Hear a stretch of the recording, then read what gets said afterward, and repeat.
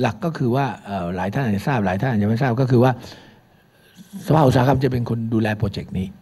นะครับ หมายถึงว่าเราคราวที่แล้วเนี่ย120ล้านก็จะมีว่า SME ที่จะมาขอนะครับ จะต้องเราก็มีนักวิชาการไปช่วยกันพัฒนาเสริมสร้าง แต่ว่างบไม่เกินรายละเอ่อผลิตภัณฑ์หนึ่งไม่เกิน 5 0 0แสนบาท นะครับถ้าได้คือหมายถึงว่าไม่ต้องการผ่านแอปปุ๊บโดยสภาอุตสาหกรรมเลย มันจะเร็ว แล้วก็ก็หลังจากแอปพูบแล้วก็ก็ไปว่าแล้วก็จนผลิตพันธ์เสร็จแล้วค่อยมาเบิกเงินนะครับ ก็เบิกเงิน อันนี้คือเป็นลักษณะเพราะฉะนั้นจะมีผลิตพันธ์เยอะออกมาเยอะแยะเลยนะครับ ปีนี้ก็ขอ 500 ล้านเกิดจาก 5 0 0แสนก็เป็น 1 ล้านบาทนะครับคือแม็กซิมัมไม่เกิน 1 ล้านบาทที่เราสนับสนุนนะครับ มาดูตัวเลขคร่าวๆ ไม่ตัวเลขที่เราทำนะสนชไปประเมิน 3 ปี นะครับว่ามูลค่าที่คิดว่าการลงทุนครั้งนั้นอะร้อยยี่สิบล้านในสามปีควรจะเป็นหมื่นสองพันล้านมาจากอะไรครับมาจากบอแยกเป็นภาค sector เนี่ยกรุงเทพเนี่ยประมาณ 3,000 ล้าน ภาคกลางประมาณ 6,000 ล้าน ซึ่งมันมีปุ๋ยด้วยมีอะไรด้วยมีหลายเรื่องนะครับที่ทำมายันแยกเป็นกลุ่มอุตสาหกรรม เป็นกลุ่มอุตสาหกรรมอาหาร กลุ่มอุตสาหกรรมการเกษตรนะครับ มีไฟฟ้านะครับ อันนี้คือตัวเลขที่ทำกันว่า สิ่งที่ลงไป 120 ล้านเนี่ย มีโอกาสพัฒนาถึงเป็นเศรษฐกิจเป็นการจ้างงานการทำ packaging ทำนู่นทำนี่ออกมานะต่อยอดอีก 3 ปีข้างหน้าจะเป็นตัวเลขประมาณนี้นะครับผมไม่ทราบว่าเวอร์หรือเปล่านะครับ ถ้าเวอร์ก็เอาโอเคบอกหาร 50%นะทำแบบจีนไปต่อรองเหลือ 50%ก็ยัง 6,000 ล้านนะครับ แต่ซื้อของจีนอาจจะต้องต่อรอง 70%ถึงซื้อได้นะฮะเพราะฉะนั้นก็อันนี้เป็นตัวเลขที่ที่ที่ที่แต่ว่ายังไงก็แล้วแต่ ผมเชื่อว่าอันนี้มีประโยชน์ ราะผมสัมผัสอยู่รู้เลยว่าอันนี้ไปถึง SME จริง ๆ และ SME ได้นำผลิตภัณฑ์นั้นมาทำและขายของจริง ๆ อันนี้ชัดเจนนะครับเพราะฉะนั้นวันนี้เนี่ยกระทรวงวิทยาศาสตร์นะครับ เป็นเรื่องสำคัญนะครับ ผมพูดโดยเฉพาะผมมีพรรคพวกที่ที่ชำนาญเรื่องจีนมาก เขาสนิทกับกระทรวงทางทางทางสถาบันวิจัยวิทยาศาสตร์เทคโนโลยีของจีน โอ้โหสถาบันนั้นเขาแข็งแรงมาก เขาเป็นคนที่หลีดเลยอุตสาหกรรมของจีนทั้งหลายมาจากตรงนี้หมดนะครับ เอาเทคโนโลยีจากตรงนี้นะครับ ผมก็เชื่อว่าเราก็แข็งแรงเพียงแต่การเชื่อม มันเหมือนกับยังไม่ไม่โดนเท่าไหร่นะถ้าวันนี้เราเนี่ยโลกมันเปลี่ยนนะครับ การเมืองเราเปลี่ยน การเชื่อมต่อตรงนี้ดีขึ้น ผมเชื่อว่าเราสามารถที่จะมีผลิตภัณฑ์แล้วช่วย SME รายใหม่ ๆ เพิ่มขึ้นเยอะ เพราะทุกอย่างเนี่ยทุกประเทศนะฮะ เขามี subsidize ข้างหลังให้กับภาคเอกชน โดยเฉพาะขนาดกลางขนาดเล็กหมด ถ้าไม่ subsidize ไปไม่ได้ เพราะฉะนั้นทุกประเทศเขามีวิธีการ subsidize ของเรา แต่เราก็ชอบอะไรก็รู้แบบเฮ้ยเราต้องเป็นเจนเท l แมนบางเรื่องไม่ควรเป็นเจนเท l แมนก็เป็นเจนเท l แมนบางเรื่องควรเป็นเจนเท l แมนก็กลับไม่เป็นเจนเท l แมนนะครับ เราเป็นอย่างเงี้ยนะครับ เราตามยุคเขาไม่ค่อยถูกนะเพราะฉะนั้นถ้าตรงนี้เราได้มันก็ดีนะครับ ผมก็ใช้เวลาไปพอควรก็ ก็ไม่ไม่ทราบว่า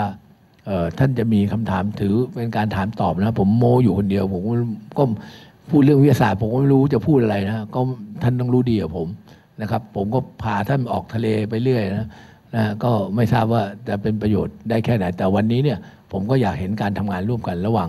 ภาครัฐกับภาคเอกชน โดยเฉพาะท่านซึ่งเป็นนักวิทยาศาสตร์ทั้งหลายนะครับ ก็อยากจะนักช่วยกันนะครับ เชิญนะมีคำถามเชิญนะ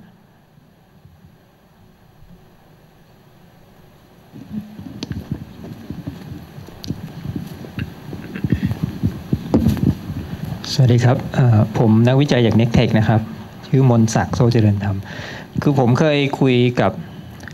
เจ้าหน้าที่องค์กรของภาครัฐ แล้วก็ได้ยินคำกล่าวอย่างนี้นะครับ เดี๋ยวผมจะเล่าให้ฟังและอยากจะฟังความเห็นของท่านสุพันธ์ว่าท่านมีความเห็นมีมุมมอง หรือคอมเมนต์ยังไงกับคำกล่าวอย่างนี้ยนะครับ คือ คือตอนนั้นคุยกันว่าเนี่ยเราภาครัฐน่าจะสนับสนุนงานผลงานของภาคเอกชนไทยให้ให้ให้ให้มากขึ้น อันนี้เขาก็บอกว่าเขาก็บอกว่าเออยินดีที่จะสนับสนุน แต่เขามีเงื่อนไขเขาบอกว่าคุณภาพขอให้คุณภาพและราคาสู้ได้กับของต่างชาติ ทั้งคุณภาพและราคา นี่ผมได้ฟังผมก็มานั่งคิด เราก็เพิ่งเริ่มเพิ่งเหมือนจะเริ่มหัดเดิน มี product ออกมาเพิ่งจะเริ่มต้นตั้งตัวแล้วบอกให้ทั้งคุณภาพและราคาสู้ได้ มันค่อนข้างบีบคั้นหัวใจมากท่านเราควรจะคล้าย ๆว่ายอมคุคุณภาพอาจจะสู้ได้แต่ราคาสูงกว่า ก็ยังยอมที่จะซื้อเข้ามาหรือเปล่าหรือยังไงหรือท่านสุพันธ์มี comment อะไรยังไงไหมครับ คือคือต้องเรียนตรงๆไอ้เรื่องคุณภาพกับราคา มันขึ้นอยู่กับต้นทุนของ production คือปัญหาเนี่ยมันคือไก่ไข่ ถ้าเราขายได้เยอะโอกาสที่จะบีบต้นทุนลงมามันก็เยอะ ใช่ไหมเพราะโปรดักชันมันมันมันสามารถเอ่อถ้าเราผลิตร้อยกับผลิตหนึ่งชิ้นเนี่ยต้นทุนมันจะต่างกันเห็นมันต้องประเมินสถานการณ์ตลาด แต่ครั้นี้เนี่ยพอไปเป็นอย่างนี้เนี่ยมันจะเจอคือท่านที่เข้าไปช่วยก็ส่วนใหญ่เป็นบริษัทบริษัทขนาดกลางขนาดเล็กเขาก็ไม่กล้าลงทุนที่จะทำทำใหญ่นะครับ อันนี้ก็คือสิ่งที่ว่าหนึ่งภาครัฐพยายามช่วยหาตลาดได้ไหม ตลาดมันอยู่ตรงไหน ที่จะทำให้เขาขยายมากขึ้น เพราะว่ามันก็จะเจอเนี่ยคุณภาพกับราคา แต่วันนี้เนี่ยยังเป็นข้อดีว่าถ้าไม่อินไทยแลนด์คนเขายอมรับมากกว่าไม่อินไชน่าเพราะยังไงราคาเราสู้ไชน่ามันลำบากมาก ไม่รู้มันจะอะไรทำก็ไม่รู้ ถึงวันนี้ค่าแรงก็แพงขึ้นนะแพงขึ้นใกล้เคียงเรา มันก็ยังราคาถูกอยู่ เพราะว่าวอลลุ่มเขาเยอะมากนะก็ทำให้แค่มณฑลหนึ่งเขาก็ใหญ่กว่าประเทศไทยเราเพราะฉะนั้นก็ ก็คือสิ่งที่เป็นเรื่องสำคัญเพราะฉะนั้นตรงนี้เนี่ยผมคิดว่ามันต้องวิเคราะห์ marketing ให้ออก ว่าสิ่งที่กำลังจะทำออกไป มันเป็นความต้องการตลาดมันใหญ่แค่ไหน ถ้าตลาดมันไม่ใหญ่จริง อาจจะเรื่องนี้อาจจะต้องบอกให้มันไม่ใช่ ตลาดมันไม่ใหญ่จริงนะครับ แล้วก็มีผู้นำคือแบรนด์อื่นอยู่แล้ว ซึ่งเขาตลาดใหญ่เขาอยู่เมืองจีน แล้วก็มาบวกกับเราอีกนิดเดียว เราทำไงก็สู้ไม่ได้ แล้วตลาดบ้านเรายังเล็กอยู่ อันนั้นอาจจะต้องต้องเลือกที่จะไม่ทำแต่ถ้ามองตลาดใหญ่จริง ต้องมองว่าเราจะไปยังไง การขยายตลาดตรงนี้จะทำยังไงนะครับ อันนี้ก็เป็นคือผมก็ไม่ทราบโจทย์อะคือทราบโจทย์จากท่านแต่ไม่ทราบผลิตภัณฑ์ก็มันมันก็ต้องเป็นเรื่องที่บางเรื่องอาจจะเป็นนวัตกรรมใหม่เลย ซึ่งก็ต้องคาดเดาว่าเอ้ยมันเป็นสินค้าใหม่จะไปได้ขนาดไหนนะครับ แต่ถ้าเป็นสินค้าใหม่ก็จะดีที่สุด เพราะมันจะไม่มีตัวเปรียบเทียบ นะฮะมันไม่มีตัวเปรีท่านบอกท่านทำน้ำทุกคนก็บอกให้น้ำที่ท่านทำมันมีอะไร ที่แตกต่างไหมนะครับ ถ้าท่านทำน้ำโสมออกมา เออ มันไม่มีน้ำโสมสมมุตินะผมท่านก็วางมาร์กอัพราคาได้ คืออะไรที่ผมยังมองว่านวัตกรรมวิจัย ถ้าเป็นไปได้ลองคิดในเรื่องของสิ่งที่ไม่ค่อยมีการแข่งขันสูงในตลาด เพราะถ้าจะเจอแข่งขันสูงในตลาด ก็จะเจอเรื่องนี้คุณภาพกับราคา ถ้าไปทำอะไรที่เขามีอยู่แล้ว มันจะเหนื่อย ควรจะทำในโอกาสที่เขาไม่มีอยู่ แล้วเราก็สามารถที่จะเบียดเอาตลาดนั้น ถึงแม้ตลาดมันจะไม่ใหญ่นะครับในระยะเริ่ม แต่ว่ามันไม่มีตัวเปรียบเทียบ ทางด้าน Quality กับ Pricing มันก็จะมีโอกาสที่จะค่อยๆพอตลาดเกิดแอบสอบว่าเฮ้ตัวนี้เอาแล้วน้ำชนิดเขาอยากอยากได้ เขาชอบมันก็ขยายตลาดเพราะฉะนั้นต้นทุนคนที่เข้าไปก่อน ก็จะได้ได้เปรียบ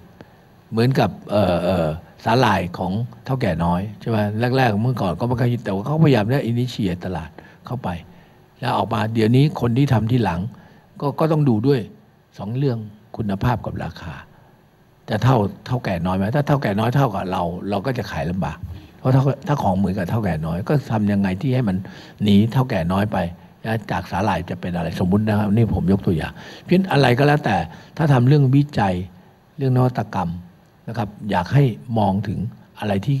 เขายังไม่มีหรือแตกต่างเขานิดหนึ่งเราก็จะไม่เจอไม่เจอเส้นตรงนี้ แล้วมันจะลำบากครับเชิญนะผมขออนุญาตเสริมนิดหนึ่งครับ เมื่อกี้เป็นคำถามที่ดีมากนะครับ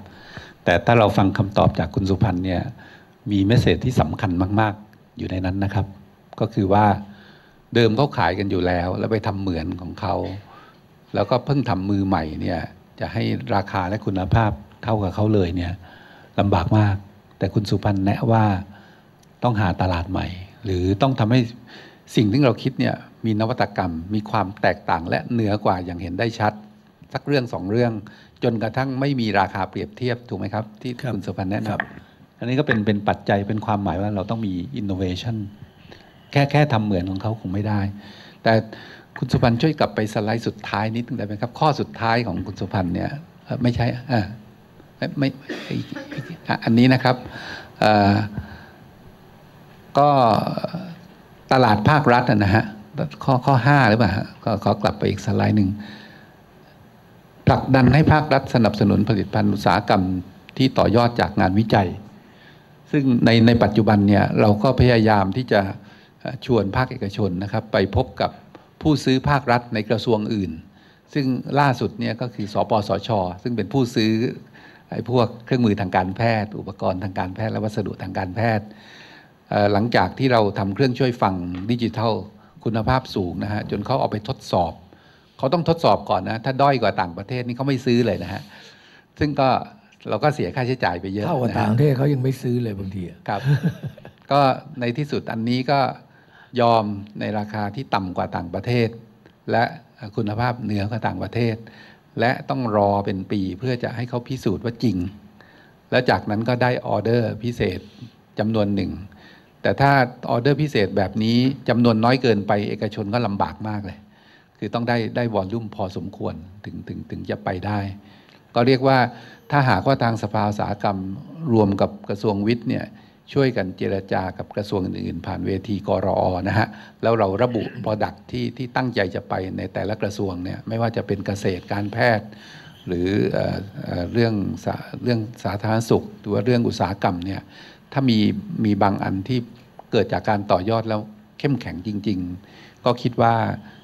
อันนี้ก็เป็นหัวหัวข้ออันหนึ่งที่ผมอยากชวนทางสภาสภาสากรรมมาช่วยกันชี้นะฮะแต่ต้องมีของแล้วนะครับของของที่ออกมาแล้วครับ คือคือเรียนนิดหนึ่งแมสเซจแรก ๆ ที่ผมไปกับทางคอสช ก็คือว่าตอนคอสช ใหม่ๆแมสเซจแรกที่ผมขอว่าจะช่วงที่จะปลุกอุตสาหกรรมผมบอกหนึ่งก็คือเน้นเรื่อง Made in Thailand ให้สนับสนุน Made in Thailand แต่เหมือนกับว่ายังไม่ค่อยได้ตอบโจทย์ เหมือนกับทางคอสช ก็ไม่ได้ไม่ได้รับลูกผมเรื่องนี้ แต่เรื่องอื่นรับลูกหมดแล้วเรื่อง Made in Thailand นี้กับไม่ค่อยได้รับลูกนะครับ แล้วก็เออก็ก็จะติดเรื่อง WTO บ้างอะไรบ้างก็จะอ้างไปแต่ว่าผมว่ามันมีติดบางเรื่องนะที่เกี่ยวกับอุตสาหกรรมบางอุตสาหกรรมที่ที่เขาห่วงว่าใช้ไม่ในไทยแลนด์แล้วมันมันมีปัญหา ผมผมตอนหลังค่อยๆเคาะได้คิดได้ออกว่าเอออุตสาหกรรมอะไรนะครับ ที่เกี่ยวพันกับเขานะแต่จริง ๆ แล้วเนี่ยผมอยากบอกไม่เสร็จจริงๆ ก็คือ อะไรที่ประเทศไทยทำได้นะครับภาครัฐควรสนับสนุนก่อนนะครับให้มีแฮนดิแคปสักนิดหนึ่งนะครับคือจริง ๆ แล้วเนี่ย ถ้าดูเรื่องของทางกรมบัญชีกลางก็มีแฮนดิแคปอยู่แล้ว ของถ้าทำผลิตภัณฑ์ในประเทศไทย โดยที่มีแฮนดิแคปสิบเปอร์เซ็นต์ถ้าห้าเปอร์เซ็นต์ใช่ไหม